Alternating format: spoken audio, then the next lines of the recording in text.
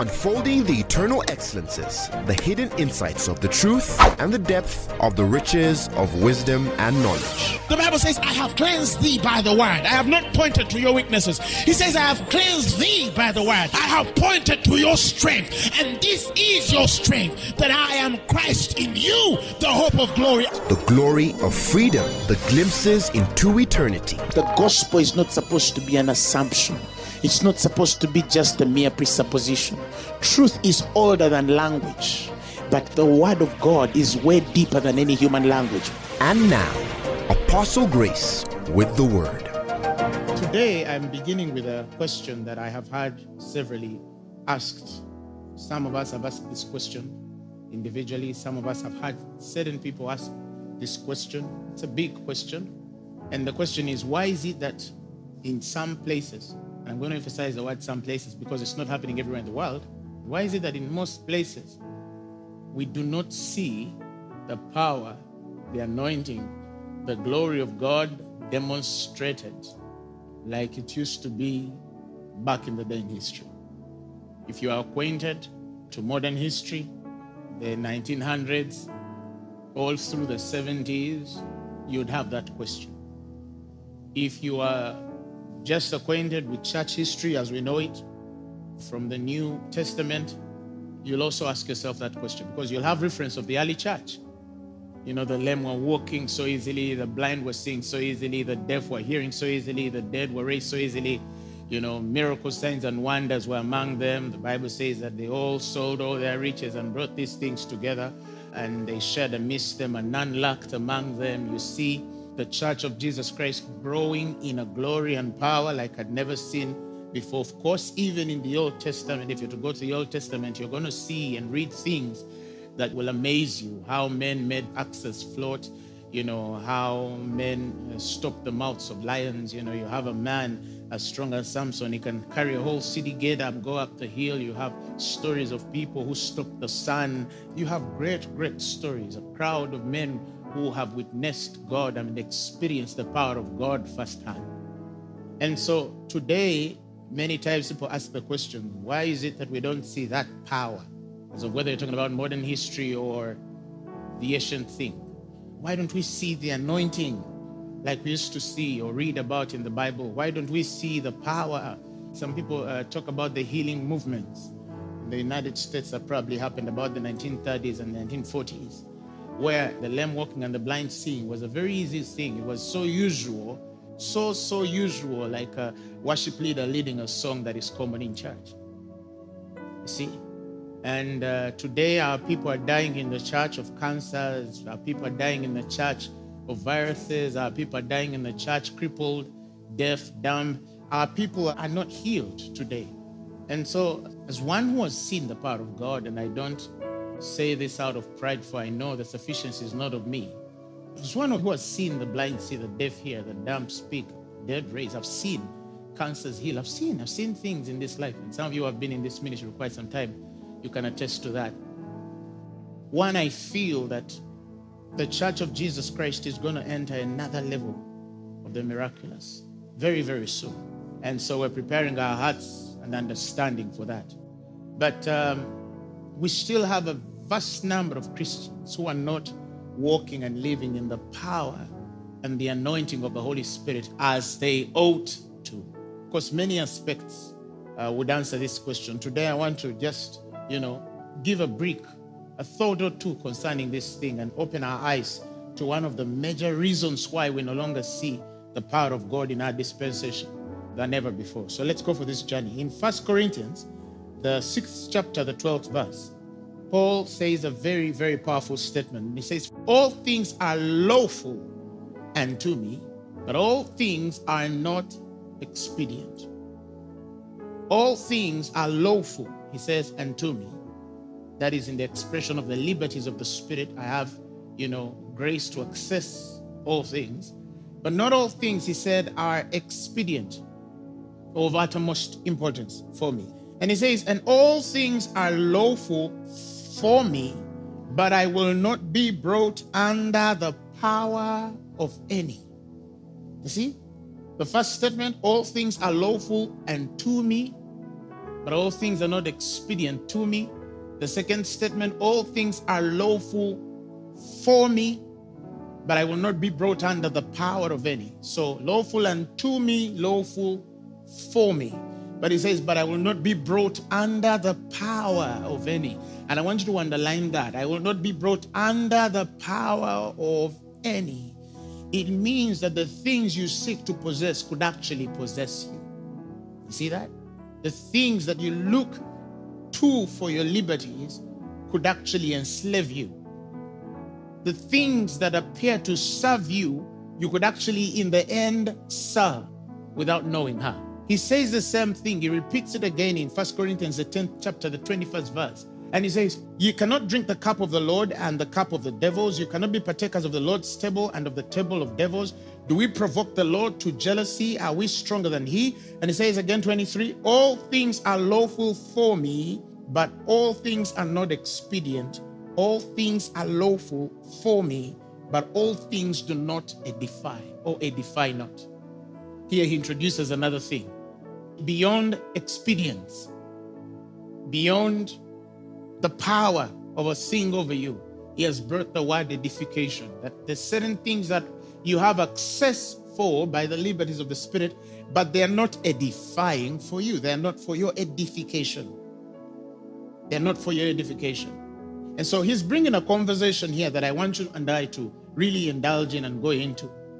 Because the Lord showed me something so powerful a bug, a disease, something that is eating up our generation faster than ever before.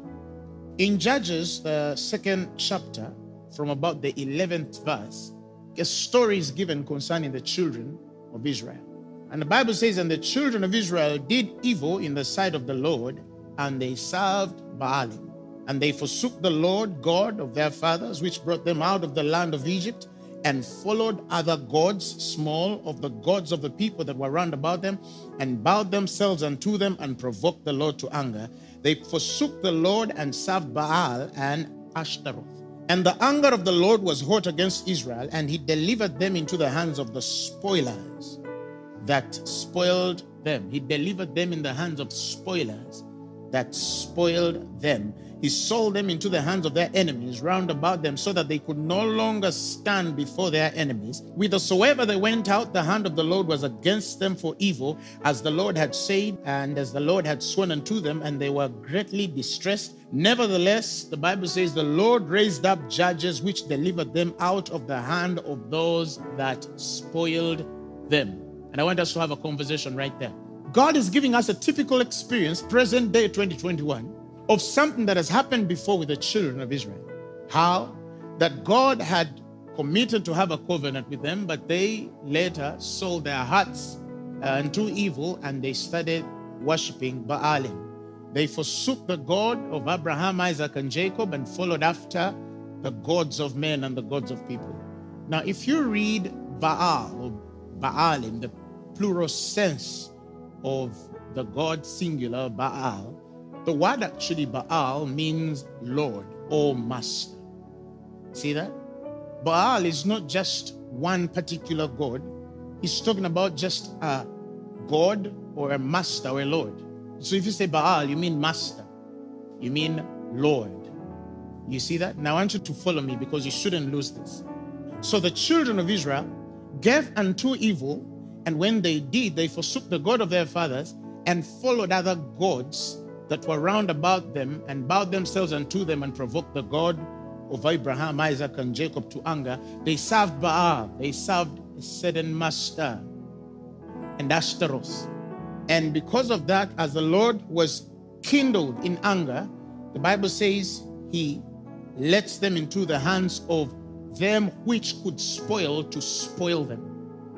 You know, those who could spoil to spoil them. What is the meaning of being spoiled? Now, if you go study the word spoiled there, you're talking about the word plundered. So the Lord gave them over to be plundered by the enemy. If you're talking about spoiling, you're talking about being robbed of. So the Lord gave them over to be robbed of certain things, to be disconnected from certain things. To be afflicted in a certain way. And this is what happens. You see? That is why the Bible says in Jeremiah, the fourth chapter, the 30th verse, he says, When thou art spoiled, what will you do? When thou art spoiled, what will you do? And he gives the typical example of a man which is spoiled. He says, If a man is spoiled, though you clothe yourself with crimson, though you deck yourself with ornaments of gold, though you rent thy face with paintings, in vain you shall make yourself fair, for your lovers will despise you and they will seek your life. What is trying to say? When a man is plundered by the devil, when a man is robbed of a certain glory, when a man is corrupted from a certain grace, it does not matter how much that man beautifies themselves. It does not matter how much that man or woman dresses themselves up. It does not matter how much cosmetic they'll put on themselves or edit their life. It does not matter how much ornament they will carry upon their life and impression that they will give to people. It does not matter how much form of godliness is depicted before men. He says, Your lovers will despise you and they will seek for your life. They will seek for your life. In other words, they will walk in the way of despise and death. Why? Because they are plundered. They are robbed of a certain glory. They are robbed of a certain power. They are robbed of a certain anointing, a certain realm and function. They are robbed of something. Something is taken off them. You see? And unfortunately, today in the church, when certain people get into the place of being spoiled, when they start to see spoilings around them, what they do, they create atmospheres avenues of beautifying themselves to hide what is getting spoiled. Because today we so much look on the outward of what is given than the inward testimony. And that is why there's a preacher who thinks that if you don't have the right lights, you cannot have a successful ministry. Because the glory of that man's ministry is in the color of the lighting. One time I met a man and said, You know what? If you don't have equipment, you cannot have a successful ministry. Jesus did not have equipment. Jesus did not have speakers. Jesus did not have cameras. Jesus did not have a television station. Jesus was not on a radio station, but he made an influence. He demonstrated and displayed a life and a power more than 2,000 years ago since it happened. For three years of that man's ministry, up to today, he's on the lips of billions and billions of people that are alive and some who have already gone and are up in glory with him. Did Jesus need all of that? No. He asked his disciples, When I sent you without a sandal, without a pass, without money, he asked them, Did you lack anything? And they said, No, we lacked nothing. Why? Because when a man knows what true glory is, Nothing outside that place in God can define the anointing of God on your life or the power and influence that you have before God. That's a generation that is spoiled. When you're talking about a generation that is spoiled, you're talking about a generation that is giving excuse for not being able to demonstrate the power of God. Yet the Bible says that all the things that have been hidden, even the Godhead, have now been revealed to us of the invisible things. And he says that now men are without excuse. So you don't have any excuse. Because everything the Bible says that is known of him has been revealed or manifested in them. Who? The believer. So everything that should be known of God is in you. Everything that should be known of the creator of heaven and earth, everything that should be known of the God of Abraham, Isaac, and Jacob, the Bible says is in you. Why? For God has also showed it to you. He gave you the revelation of it. And that revelation came with the redemptive power and the grace of impartation in your spirit. So you have all that pertains to life and godliness. The Bible says it pleased the Father that in him, Jesus Christ, should dwell all the fullness of God bodily. And that Jesus Christ is in you. And this is the hope of glory, Christ in you. That was the mystery that was hid from the ages past and now revealed. And God says, now we are without excuse. We're not even supposed to be preaching a message of excuse. Because when we preach a message of excuse, We don't take the responsibility as a church. We become victims in this narrative. So you have people who think, oh, you know, if I get this, I can go here. If I get that, I can go here. If I just have this much of property, I'll go here. If I can just have this much of partners, then my ministry will go up. Then you got that all wrong. Because it does not begin with the partners that come to you, it begins with the God that you encounter. The true flow of this principle begins when you find favor before God. When you find favor before God, you find favor before men. And because some men do not find or have favor before God, they have built cosmetic ministry and had manipulative ways of getting these partners, these provisions. And that is why you switch on television and the fellow is speaking in the name of the Holy Spirit and he's saying that the Holy Spirit has told him in a meeting are 200 people, each with a thousand dollars. The Holy Ghost doesn't speak that way. He doesn't speak that way. Why? Because you see, the Bible says if a man should give, let's follow scripture. The man should give as his heart is made up. That means for anywhere for a man to open their heart to give to anybody or anything or a ministry, the heart must be made up. Or else you're going to force them to give out of necessity, or you're going to force them to give grudgingly, or you're going to cause them to give in deception without purpose. You understand? So we make even God speak. God said that there are people right now watching me. There are 400 of you. Jesus never did that stuff. Paul never did that stuff. Peter never did that stuff. God sent them out to preach the gospel. And he never told them, you go fundraising. In fact, somewhere in the message version, he speaks of how we're not even supposed to be fundraising. Why? Because you are the equipment. In Matthew 10, the ninth verse, okay, if you read the message version, he says, Don't think you have to put on a fundraising campaign before you start. Don't think about that. He says, You don't need a lot of equipment. You are the equipment, and all of you need to keep that going. As long as you have three meals a day and you can travel, that's enough for you. If you have food in your mouth and clothes on you, if you are anointed, you'll never seek anything more. If you're really anointed by God.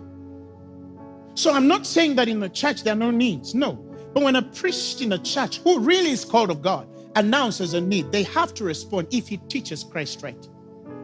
You don't need to twist the hands of men and make God say things he has not spoken about. No, that's beautifying yourself, but still you will be despised and you are for the death why? Because that's just not the way of the Spirit. That's one way of money. But there are many other aspects. How many people have made the anointing of God exclusive that if you don't go to this man of God, you cannot have a breakthrough. If you don't talk to this prophet, you cannot have a breakthrough. If you don't seek this apostle, you cannot have a breakthrough. We have given the world an impression that the price is only on the men of God and the rest of them do not have access. Yet God shed his blood for these individuals, and the same spirit resident in you, man of God, is the same Spirit resident in them, but you prefer to keep them enslaved and make them as though babes, only addicted and connected to you, that without you they cannot live, says that you can continue having your ways of manipulating them because you don't know how to keep people.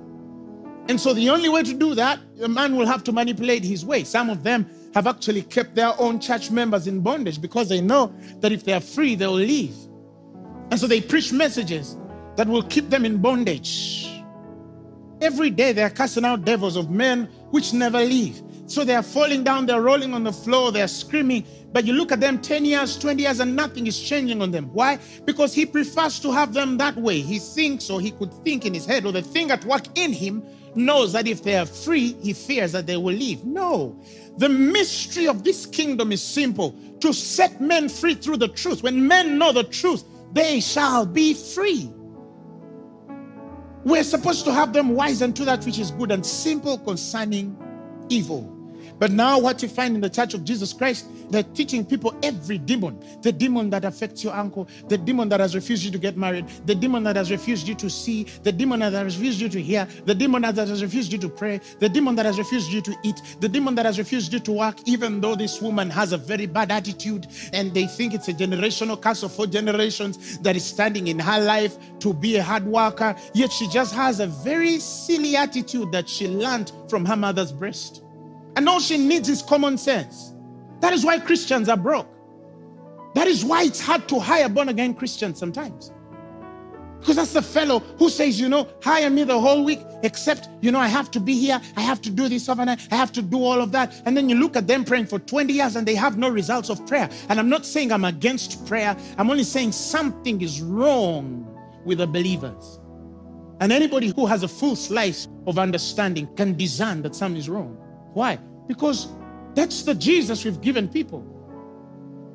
It's almost as though that poverty is associated with Christians. And sometimes, I'm sorry to say, sometimes even in some circles, you find that they display a stupidity that even the world does not have.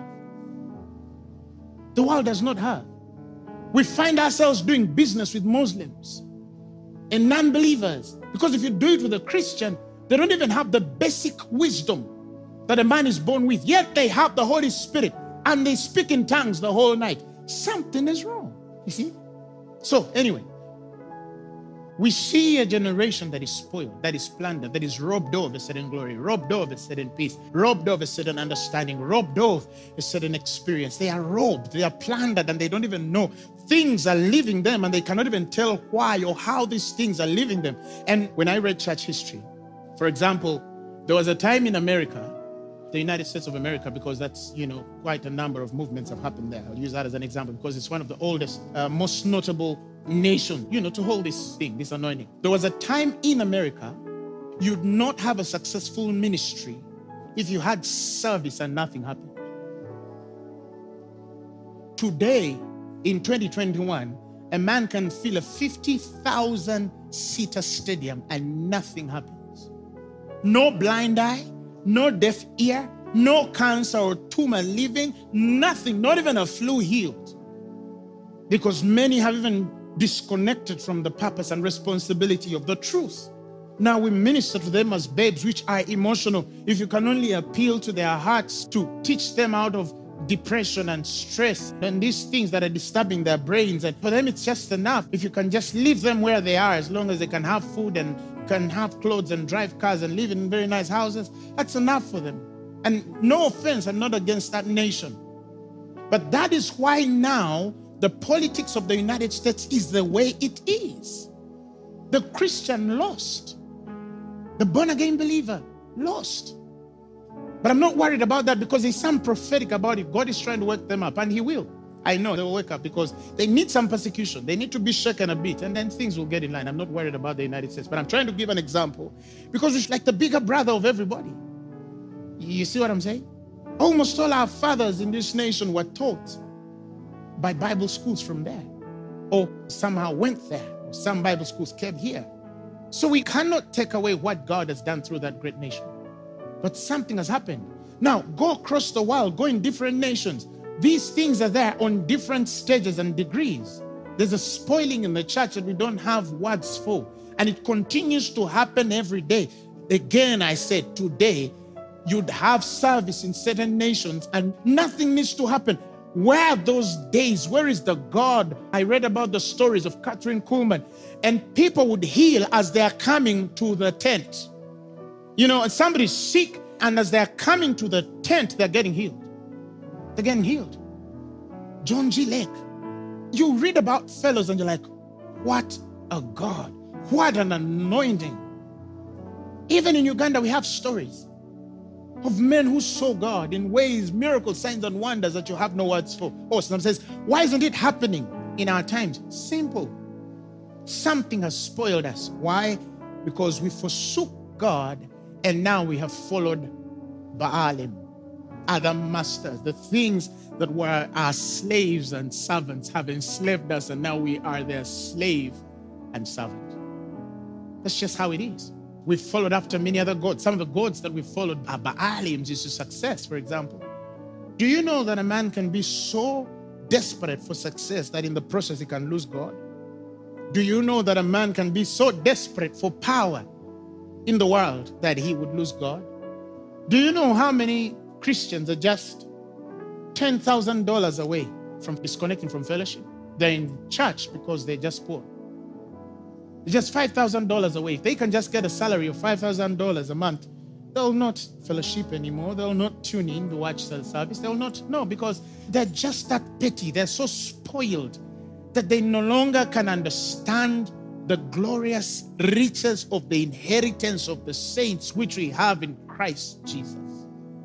Some of you are praying because your husband slapped you last night. Some of you are in service because your child is on drugs. That's why you are. If your child was not on drugs, you would not be in the presence of God. If you had not failed to find a job two, three years ago, you'd not be here. But you're here because you have problems. And I'm telling you, sir, madam, brother, or sister, you still have it wrong. Because we don't seek God only that our problems will be solved. We seek God because in Him was life. And that is why them which came to Jesus, they come to Jesus. Where have you been? They're telling him we missed you. He says, uh-uh, you're not following me for anything. You come to me because you want bread. That's what you want. This was 5,000. And in his later times of ministry, they all left. They all left. They leave, they which come to seek bread. Because when they're full, what do they need? You see? It's just the way of men. And then he comes to the 12 and asks them, Are you going to leave also? Will you go away also? And they answered him and said, For where can we go? Whom shall we go? For thou hast the words of eternal life. You have the words of eternal life. You know, why the 12 stay is because they could pick the waves of life. The 5,000 picked the waves of food, provision, job, car, husband, business, career, eh, you know, uh, going to America, whatever it is. That's the 5,000. The 12 are saying, How can we go away from this? For with thee are the words of eternal life. Those are the men that become the pillars of the extension of the gospel, even when the Christ is gone, because they understood the responsibility of this calling and the life that was available for them. And so we seem to seek a relationship with the word of whose life we carry not. How can we have the results of that word when we don't carry the life of that word. You see what I'm saying? Why? Because we gave ourselves over to idols. In John, he says, Little children, keep yourselves from idols. He says, Keep yourselves from idols. Keep yourselves from idols. In Hosea, the second chapter, the 16th verse, he prophesies of a time that is going to come where all of this will pass. But how is that going to pass? How is that going to change? How are we going to disconnect from the gods that are around us? Recently, I was reading a small document, and Google pronounced recently that in the past two years, now listen to this because it shocked me, more information has been created than all human history combined past two years, more information has been created on the internet than the rest of human history. Now we're in the age of what we call the age of information overload. What is the age of information overload? There's just so much information that is available to us, so much data that is available to us that it has broken the order of how man was created to think. You see that? Back in the day, people used to use mobile phones to call for purpose. Where are you? And here, let's meet at two. That was it. Just give me an example. They used to use mobile phones for that purpose. Let me call brother so and so, sister so and so, and meet here, and then we get down over that. And phones were as minimalist as they were. They only served the basic function to keep basic things moving. Today, you look at a young man with a phone. Recently, I met a, somebody, that, I don't know if physiotherapist or someone, he was telling me that they're even treating people recently whose backs have bent because they bow to these phones. Now it's a treatment. You see? Internet has now been recognized that it's an addiction generally. Even World Health Organization say it that internet is an addiction. Now, some people can be addicted to internet. I went to China and I found boys who could game for two days. A boy sits before a video game with a Bosta or something like that, something that would keep him awake. And then he plays a video game the whole day. He just sleeps a little bit, like 10 minutes, 15, and he's back. For two days, he's not left a chair. except to ease himself. Just imagine how somebody can sit before a video game for two days. Two days. It was meant to serve this young man for a pleasure of two, three hours. Now it has taken over 48 hours of this young man's life. And there is nothing he can do about it. I saw a video sometime where a lady was trying to take a video game of their son, and the son threw a tantrum because they're telling you the effect of a video game on a little child now is like somebody who takes drugs. The dopamine levels are stirred to places you don't even have definition for. And so his kid is running mad because they're taking away his game because he can't live without it. You know? And now our social media has come. You are on Facebook. You are on Twitter. You are on Snapchat. You are on Instagram. You downloaded TikTok. There are many things. Some of them I didn't even know their names. Sometimes I wonder, how do you keep up? How does somebody just keep up with every information coming? And you have all these news on YouTube that are coming left, right, and center, whether they are fake or junk. And I tell people, if you watch your body and say, you know what, I will not eat everything. This is just your body. You see? You say, you know what, I'm not going to eat junk food. Or today I overate so much red meat or I ate so much carbohydrates. I need to do this and do that. If you can take time to watch your body, even exercise it, what are you doing for the mind that is receiving junk? How do you detox it? You see, because some people's minds now are at a place, again, they call it the age of information overload. There's just too much information, and this is what the information overload does. I think it was uh, first discussed by a fellow called Alvin Toffler in the 1970s. This guy discovered this, and he said, A time is coming as we're going west, so much information is going to be available that men will get to a point where they no longer think for themselves. And that's the generation we're in right now. Men cannot think for themselves, they cannot effectively process information, they cannot effectively utilize information because they no longer have the space to process and utilize. They no longer have the space to meditate and think for themselves. Why? Because they're feeding and feeding and feeding. And the effects of that overload are that now people have gotten to a point where you have so much information, but your brain cannot retain it. You read so much, you can read an article, but after two hours, you can't even remember it. They can read a number of a document, and in just two minutes, it's out of their head. They can't cram it. Their brain cannot hold information anymore because it's not trained to process, it's not trained to utilize, it's not trained to allow the right processes of a man who meditates to take place. They can't contemplate anymore. They're feeding their brains every other day. And some people get to places where they feel like they're almost running mad. Some you sit before mobile phones and computers and you feel that your brain is full. It's full of something you have no idea about, but your brain is full. It's not full of God, it's not full of knowledge, it's not full of truth, it's full of something. You're watching a video, you're reading something, a text, you understand? Somebody once made a statement. He said, for example, when you look at emails, and he says, emails are simply an organized system of people imposing their agenda on your life. You understand what I'm saying? That's the truth. Because information was available, and these fellows thought, how do we get this information into a more organized systematic way such that their confusion is organized. Facebook is that organized system. How do you spend two hours eh, arguing over opinions? No, but he's black. He's blue. No, dude, it's black. No, duh, it's blue. You understand? And this is two hours. They're arguing. It's blue, it's pink, it's blue. You just wake up in the morning and you are on other people's agenda. Huh? Like one time I was telling somebody, I don't understand how somebody can just wake up and go on Facebook and take a selfie eating chicken and chips. Then they raise their lips a bit. You understand? And then they get 20,000 likes.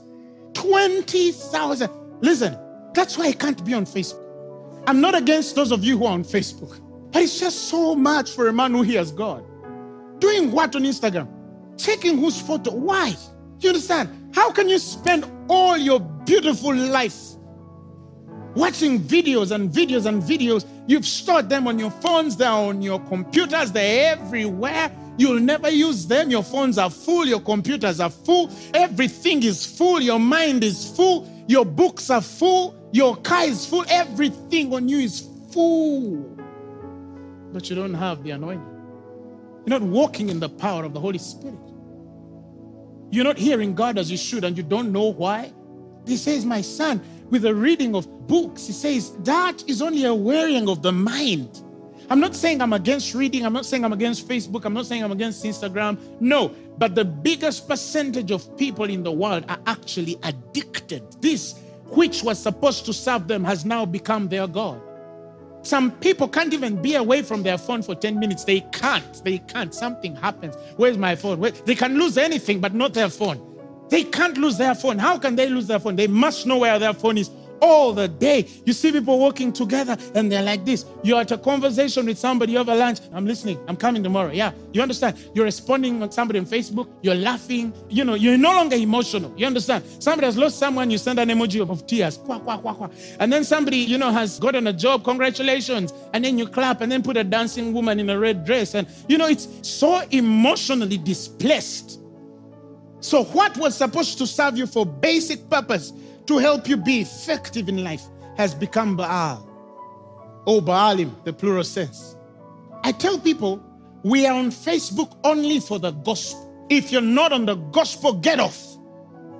Are you hearing me? That's why Phaneroo is on Facebook. To allow that Christian who just wants to access God and preach the gospel to get there. If we're done, you have no business knowing which car I drive, where I live, what I eat, how I sleep. That's irrelevant. We are running out of time, saints. We're running out of time. Millions and millions of people are dying every day because now we've substituted internet from service to God. I saw, for example, when they switched off internet in Uganda, you see people shaking when are they putting on internet. You understand? My brother has a friend. Uh, this young man was telling me of a friend he has. So they switch off Facebook. This fellow plays games the whole day. He's on Facebook and WhatsApp and everything. He uses the phone a lot. So he tells me, it was funny, but it was interesting to hear. This young man says, Man, they switched off internet. Now all my business is gone. Business? This guy says, business? Well, what do you mean by business? No, I was doing my stuff there. But what is his stuff? Games and, you know, nothing was bringing this young man income. You understand? But he looks like he's even starting to fall sick. He can't think right. Why? Because they switched off internet. They just switched off internet. and now, when they're left without anything that is coming to their head, they can't think. They can't contemplate. The theta waves of their minds are not awakened. They can't create. They cannot be inspired.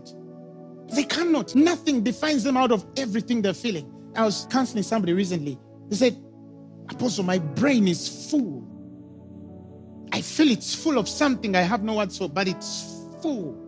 It's full. Not of scripture, not of revelation, but it is full because now God has been substituted. How can you sit and talk with people online for four hours and you can't talk to God for 10 minutes? How do you expect to have results? You see? How can you sit on Facebook the whole day and you can never spend two hours with God? Two hours with God, one hour with God, and you're asking yourself why our generation cannot see God? How? How is it so easy for you to watch a whole season on Netflix and you sleep up to 4 a.m. in the morning, but you can't be awake up to 2 a.m. just from midnight to 2, tiring in the presence of God? So, how can you say oh, you know, you deserve to walk in the power and the anointing of the Holy Spirit. How? You're full of what has possessed you. You're full of what has taken over you. And now you're planted even without knowing. We hear men more than God. The world is full of fake news. The media has gotten the art. Today, people, everything they read is true. Everything they see is true. And sometimes, as a man of the Spirit, you know, I can tune on a television station, for example, the news, and CNN, and I'm hearing this guy speaking, but I'm hearing what he's not telling me. And I know that what he's not telling me is the truth. You see? But I see riots come up on places of men that are watching things because they've taken them as they are. And how deceptive this can be, this goddess media has gotten in the hearts of people. Everything they read on the internet is true. So, what is truth? What is truth? Pontius Pilate asks because they no longer know the truth. Again, learn to look at your mobile phone now as a tool. Learn to use it as a tool and a tool only. Nothing more than that. If you're done with its doing, put it away. If you're not for the gospel and some beneficial, why are you using this phone for? Why are you on that computer? Why are you on that TV the whole day? How can you watch TV the whole day? You have one life and it is short. And you have a lot to do in this one life, and you can sit on television from 8 a.m. to midnight every day, and you have no conviction in your spirit that something is wrong. You see that? You have no conviction in your spirit that something is wrong. Facebook, free. How much you pay? Nothing. WhatsApp, free. It's nothing. Instagram, free. Twitter, free. One man said, if it's free, then you are the product. You are the product. And so, on the higher levels, after getting you, you know, drowned, enslaved, and drunk with the stupor of their creations, you are discussed on a table of transaction for them to earn more money because they have you. Because they have you. I don't think that Zuckerberg is on Facebook. In fact, one time I read that fellow does not spend more than five hours on Facebook for a whole week. So it means some of you are more on Facebook than the guy who created it and has access to all the data in the world. In parts of Africa, some parts to get data is a miracle. Now imagine guys in Europe who pay, you know, a whole plan over a month and they have it all at 19, 20 dollars and they have internet the whole, whole month. The Ugandans, God is just preserving only because you don't have enough money to buy data. If you had data, you'd be gone. You'd be gone. And that is the truth. I've spoken about this, but there's many other things. Again, like I said, there's many things that can actually take us, but this is the most notable example that God has started to show me just how demonic this is. How bounding this is.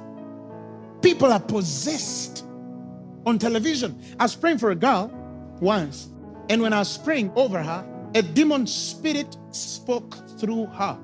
I was disturbed by how it was acting, and out of curiosity, I said, Where did you come from? And it mentioned the movie. The way she was manifesting, it was so strange for me. I'd never seen something like that. And out of curiosity, I don't really like making demons speak, but because I know I have the anointing, I took time to ask, Where did you come from? And the demon spirit through the girl spoke through a certain movie. It mentioned the name of that movie. So she actually transacted with the devil watching a movie for two hours. It's serious. It's more serious than many of us think. Some of us don't even know what it takes for some of these people to create these movies and their agenda exoterically, not esoterically. You know, in the world of darkness, they have what is exoteric and esoteric. What do we want them to know? What do we really want to do? Anyway, Hosea says, There is hope though. In the second chapter, the 16th verse, it says, It shall be at that day, okay, now it's talking about a time that has to come. And I feel it's the season for us to pray and preach this and believe God for a change that must take place in our dispensation. It says that it shall be at that day, said the Lord, that thou shalt call me Ishi, and thou shalt call me no more Baali. For I will take away the names of Baalim out of her mouth is Israel, and they shall no more be remembered by their name. And in that day I will make a covenant for them with the beasts of the field, and with the fowls of heaven, and with the creeping things of the ground. And I will break the bow and the sword and the battle out of the earth, and I will make them to lie down safely. He says, I'll betroth thee unto me forever. I will marry you and not allow you to get married to anything else besides me. He says, I will betroth thee unto me in righteousness and in judgment and in loving kindness and in mercies. I'll even betroth thee unto me in faithfulness, and thou shalt know the Lord. And it shall come to pass in that day that I will hear, saith the Lord, and I will hear the heavens, and they shall hear thee, earth, and the earth shall hear the corn. Listen the wine and the oil, and they shall hear Jezreel. Okay, in Psalms 104, he speaks of the wine that maketh the heart of a man, and the oil that maketh his face to shine, and the bread which strengthens his heart. He says, I shall allow the stirring of the wine and the corn and the oil for the earth. The wine is to make the heart of a man glad so men don't walk in depression and suicide thoughts. That's why in Europe, kids are killing themselves every day. Suicide is there. One time in the UK, they told me the rates of suicide of young people, and I was shocked. They don't have joy in their hearts anymore. They've lost meaning for living. He speaks of how the heart of man is glad with the wine of the Spirit. The oil makes that man's face shine. That's the countenance anointed. And he speaks of the bread which strengthens the man's heart. Remember, you got the heart, for out of it are the issues of life. Okay? And he continues to say, And I will sow her unto me in the earth, and I will have mercy upon her that had not obtained mercy. And I'll say to them which were not my people, Thou art my people and they shall say, Thou art my God. So he says, A time will come that Now I want to believe God that this is the time, or else when. He says, Now faith is. Now faith is. And my heart's prayer is that we would walk in this reality today. That we will walk in this truth today, that God will kill every manner of idol in our lives, even that which we assume not to have control over us, but we can recognize that it has the control over us. There are people who are so controlled by their jobs that what was supposed to be just a source of income has become your God. That without it, you can't even live anymore. You cannot live anymore. If you lost that job, you're gone. You'd sink and lose everything. Because the covenants by which men use to establish these businesses are different from the way the sons and daughters of God align themselves for this. And one of the biggest deceptions in the world is around wealth. How does wealth come? No job will ever pay you enough to make wealth. It doesn't exist. Because wealth does not come through jobs, it comes through a covenant. He says he gives us power to make wealth, that he might establish the covenant that he made with our forefathers. So I'm not saying there's no hard work. But a work without purpose can only enslave you. And many people don't have purpose except for the basic human visions of I'm working to get a car, I'm working to build a house, I'm working so I can sustain my family. How myopic can you be? How short sighted can you be? What about your responsibility to the world? Did you not say that occupy until I come? You think God is interested in you having that little job that pays you enough just for your family so you die a happy man alone? No. He has called you to change the world. He has called you that through you millions and hundreds of millions might come to the saving knowledge of our Lord and Savior Jesus Christ. Search yourself. Where is your Baal? Where is your Baal? Some people's Baal is even in relationships. You are in a relationship that is going to kill you that is sucking the energy and spirit of God and the operation of God in your life, but you have refused to let go of that relationship because something tells you that if you let that man go who has been paying your rent, who has been paying your fuel, you're going to walk on the streets and you don't want your OGs to see you looking like that. But you know that the relationship that you're in every other day is disconnecting you from your purpose and the call of God concerning your life, and you chose Him as your Baal. You chose him as your Baal. Some, it's this bottle. Without it, they can't leave. They don't get some themselves a drink. They cannot have happiness in their heart because the source of their joy is no longer in the Holy Spirit. It is in something mundane, something worldly. Some of us as believers, we're too alive to the world that if you're not out, you can't feel healthy. If you're not hanging in certain places, you can't feel normal. If you're not with a certain crew and group of people, you feel like something is missing out of you. And you're still asking yourself why the power of God is not evident on your life. All things are lawful, but not all things are expedient. And it says, All things are lawful, but I shall not be brought under the power of any. Refuse to be enslaved by the idols of this world. Father, we thank you. Just open your mouth and speak.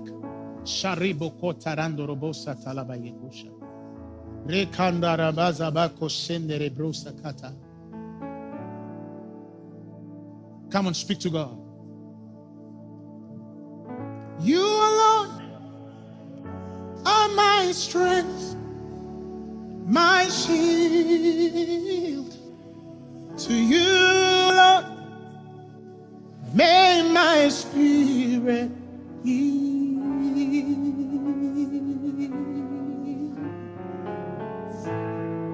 You alone are my heart desire, and I long to worship you. Come on, speak another time. You strength, my shield.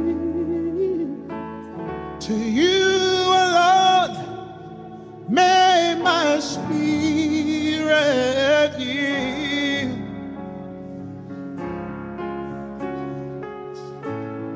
It's you alone and my heart desire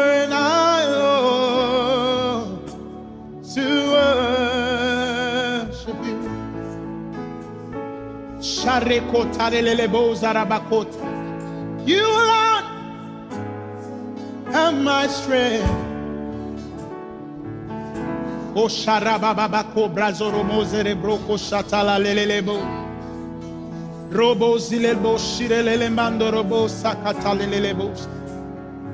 God, we believe this is the time where we must be delivered from idols, from gods of men, from the creations of men that have enslaved us and made us products and services for their own profit.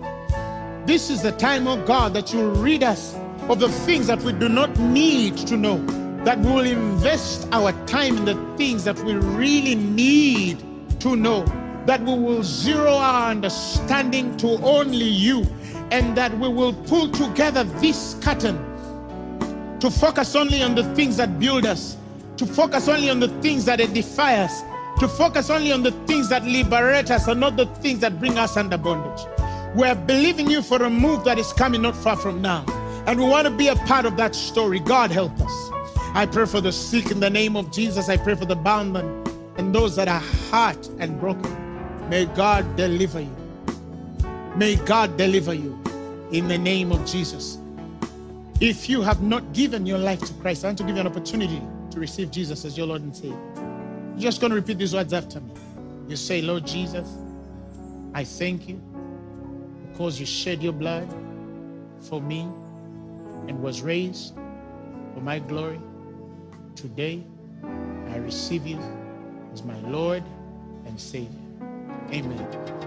The message you have just heard was brought to you by Phaneroo Ministries International. For more information, contact us on telephone number 041 466 4291 or email us at phanerookampala at gmail.com. You can also find us on the web at www.phaneroo.org. Or better still, feel free to join us every Thursday for our weekly fellowships at Uma Multipurpose Hall from 5 p.m. to 8 p.m. You can also catch the live stream at livestream.com slash Phaneroo. Phaneroo, make manifest.